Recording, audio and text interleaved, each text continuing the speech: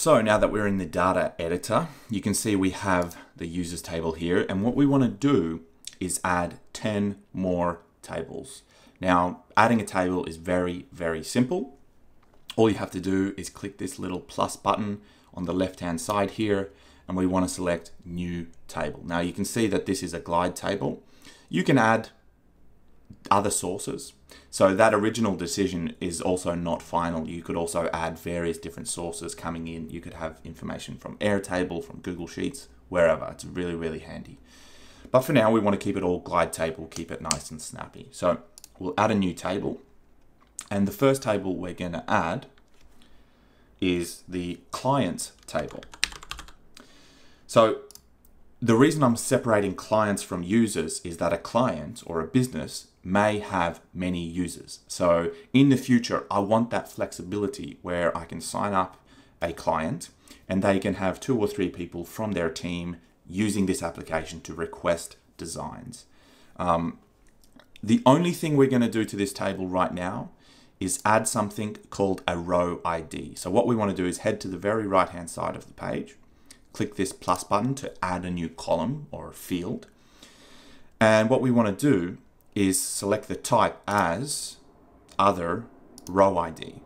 Now, this is essential for every table that you're going to create because it allows you to reference other tables and pull in information from other tables and it's just a safer way of referencing another row. Um, if you were looking up the name instead of the row ID, if you change the name, that connection might be broken. That might not make sense right now, but in the future, you'll see what I mean.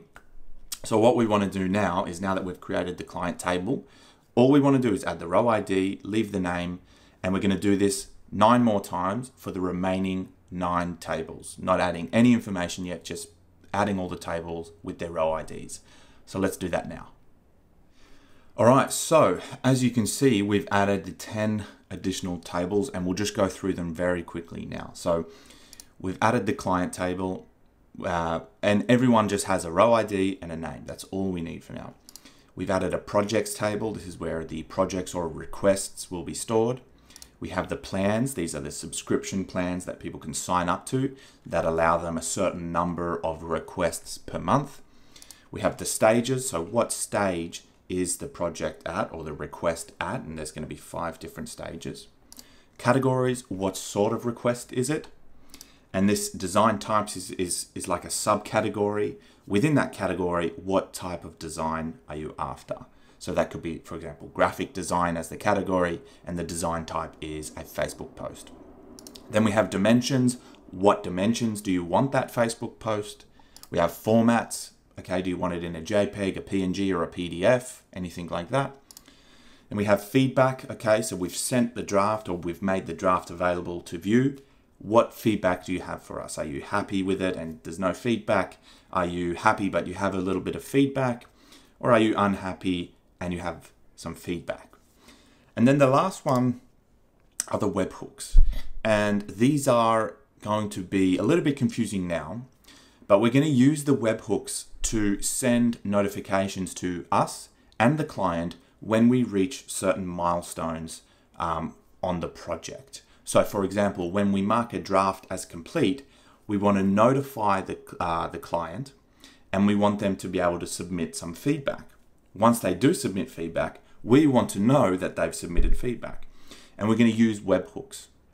Now, what we want to do now is add some additional columns to each of these tables. So you can see now there's only row ID and name. What we want to do, working our way from the bottom up, because they're the least complicated and the least integrated, we want to make our way from the bottom up, adding columns to each of these tables and then adding some data that we'll be able to reference later on in the app. So let's get to that now.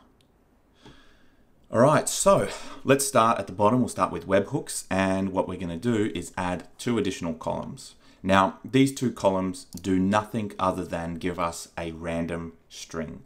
And so what we're gonna do here is call this hash and we wanna select the type as other cryptography, and then hash. Now, the reason we want to do this is this is the easiest way I found of getting a random number. And I'll show you why that random number is important in the future. But for now, let's just select the row ID as the input. So it's going to use that row ID uh, as an input to create this random long string. We don't want it that long, so what we want to do now is actually select another column or create another column, and we head to Other, and this is going to be Text, Truncate Text. So truncate basically means to shorten, and we're going to call this the root or the route, however you want to say it. And we're going to use the string is going to be the hash. So we want to shorten, what do you want to shorten is basically what it's asking. So we want to shorten the hash. We want it to be five characters long and we just want it to end in anything. Could be zero, doesn't matter. So you can see that we have now shortened this really long string and we'll use this in the webhooks in the future to tell the webhook where to send the information. Now, I'll just quickly explain the, the reason we're doing this. In Glide, you can only create webhooks. You cannot edit them and you cannot delete them. So what I prefer to do is create one webhook and then route the information based on this route uh, string to go to send it where I want to send it. If you end up creating lots and lots of webhooks, it can get confusing. You can't delete them. It, I think it's a bug. Glide's got to work that out. But for now, this is a, a pretty decent solution. So what we want to do is add a little bit more information and we're going to add nine different webhooks. So instead of watching me type it out, I'm just going to magically pop all the information in now. All right, so there you go. There's all the information. We have nine different webhooks that we're going to use. The They range from uh, when a client submits a new request, what do we want that to do, um, to when we request feedback from the client, or when we invite a user to the platform. So for now, we're going to leave this as is. That's good enough. We don't need to change anything. Now we're going to move on to the feedback table. So in the feedback table, we're only going to add one additional column, and that is going to be an icon or an image column. So we head over here, we click this, and we select image, and we're going to call this, if I can spell, or type rather. We're going to call this icon. And just like before, I'm going to magically input the data into this table because it's a little bit slow to upload all the images. So let's magically make the data appear. All right, so as you can see, we've got three different feedback or draft feedback statuses that the client can submit. It's happy with feedback, uh, with no feedback, so we're happy with the draft, just finalize it and send us the final product. Happy with feedback means they're happy with what you've created, but they have a little uh, few comments maybe.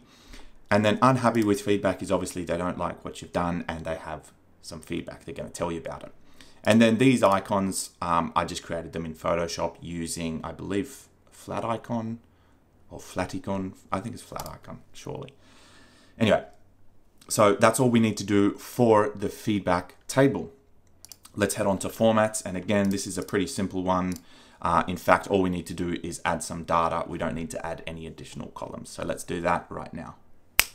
All right, that was pretty quick. So for simplicity's sake, I've only added three different formats, but obviously you can tweak this however you want. You can add a different range of formats. You can add video, you can do whatever you want. This is just so they can select and give you an idea. Now, uh, idea of, of what they want as the final product. Now, this is all of these things we're doing now is eliminating unnecessary communication between you and the client. If they know they want a JPEG or a PNG or a TIFF file or AI file, you can give them the option to select that. You don't have to go back and forth. Um, and that's what we want to do. We want to automate as much of your day to day as possible using this app. And you'll start to see how powerful a Glide app can be once you understand how to build apps in it. So, with that being said, let's move on to the dimensions. And again, we're going to keep this one pretty simple. There's only four rows of data. There's no additional columns. So let's add those data, that data now. All right, so as you can see, we've added four different dimensions that they can select. They can select a landscape image, a square, a portrait, or a custom dimensions. Now, you can obviously get more specific. You can make this like a 16 by 9 um, image, and you can put here, I don't know, 9 by 16. It doesn't really matter. You can do whatever you want. Um, me, I'm just going to keep it simple for simplicity's sake. And that's all we need for the dimensions. So let's move on to the design types. Now with the design types, we're going to be adding three more columns. We're going to be adding a category ID column. We're going to be adding a relation column. And this is the first relation column that you'll see in the app. And then we're going to be adding another image column or an icon column. So let's do that now. Let's add the category ID. And this is just a text field let's add a relation field and we'll call this the category. And we want to relate items where the category ID matches the value in categories row ID. And this is why we added the row ID to all of the tables, because if we were trying to link information using a name, for example, like let's just say it was graphic design, if we then later changed that name, the reference would be broken, the link would be broken. But in this case, we can see that when we put a category ID here, what this is going to do is look up through look through all the categories and find the one that matches the row ID and it's going to input it here. And once it's here, we'll be able to access all the information from that table. So I'll explain that a little bit later. For now, let's just add the last column, which is the icon uh, column, which is just an image field. And that's all we need to do. I'm going to add a little bit of information now. So let's magically input it. All right, so that's all the information we can add for now because since we haven't created the categories yet, we don't know what the category IDs are and we can't um, add the category to these particular design types. So what we want to do now is head to obviously categories and then we'll come back and fill that information in. So let's head to categories. And on the categories page, we don't really need to add anything other than the data itself. So let's add that now. All right, so that's all done. Took a very long time, as you can imagine. But now we have different categories. So we have other design type, which means they will be able to select a custom or input a custom design type we have graphic design, and we have print media.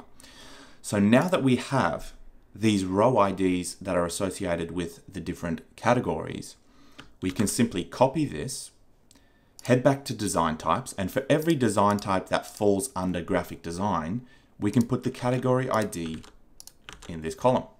So now you can see that the category is um, graphic design. And if there was, if, if this particular table had a lot more information, we would now be able to uh, reference that information and pull that information into this table. I'll just show you an example. So if now that we have this link to another table, we could make this, uh, for example, the category name. We could create a lookup field and we could look up the name of this particular category. So we don't really want to add that now because we don't need to, but that's just showing you the functionality. So let's head back here and fill in the other category IDs. And that's it. Design types, categories are done. Now let's move on to stages. And stages is essentially just what stage is the project at? Is it queued, as in it's not uh, been kind of approved yet or accepted? Is it complete or is it somewhere in between? And what we want to do is just add two more columns. We're going to add again an image column and this is going to be called icon. And we're going to add a number column and this is going to be called the order. And we want this just as an integer, not a decimal. We don't need a group separator and we don't need a unit to be displayed before or after the number. That's all we need for the stages uh, table. So let's add the data now. All right, so we've added all the information we need to the stages table. These are obviously the icons that represent what stage the project is at. So is it queued, in progress, needs feedback, finalizing, or complete? And these obviously represent that in visual form. And this is why I was talking a little bit before about color, because if you have too much color, nobody notices anything. So what you want to do is have color in strategic places. And in this case, it's the status icons, or stages icon rather. This column here, the order column, we don't need to talk about it now, but I'll just give you a brief explanation. It's essentially going to be used to sort the projects in a descending order from the highest to the lowest, just so you have a cleaner um, feed, basically, uh, for the user. So it's not going to have everything all over the place. It'll be nice and organized. So let's get on to the last one we're going to do. That is the simple ones of um, the simple tables that we're going to set up. And that's the plans table. So this is essentially what subscription plan are they on, how much does it cost, and how many requests does that give them every month. So we're going to add, I believe, two, three more uh, columns. So let's add the first one, which is the number of requests. So we want this as an integer and that's all we need to do there. We don't want a group separator. Then we want to add the monthly fee, which is also going to be a number. Um, I like it clean. We don't really need decimals here. Uh, we will use a group separator. So if it's a thousand, there'll be a comma. And we can put a dollar sign, not after the number, but before the number. And that's all we need to do for that one. And the last one is the client's uh, relation. Now, this with this one, we actually can't add yet because we haven't added the needed column into the client's table.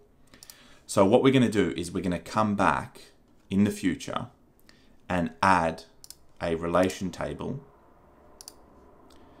where this row ID matches a column in here called plan ID. So at the moment, I'm just going to select row ID to be edited. Hopefully we remember to edit that. but I just wanted to add it in now so it's there and it's good to go.